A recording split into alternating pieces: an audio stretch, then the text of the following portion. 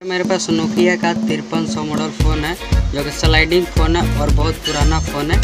देखिए, फंस भी रहा है। और इसका देखिए बॉडी चेंज किया गया है ओरिजिनल बॉडी नहीं है। और आज के डेट में भी प्रॉपर वर्क कर रहा है, थोड़ा स्लाइडिंग में अटक रहा है, पर फिर भी यह सारा काम कर रहा है। करीब पंद्रह साल पुराना ये फ़ोन है। Thanks for watching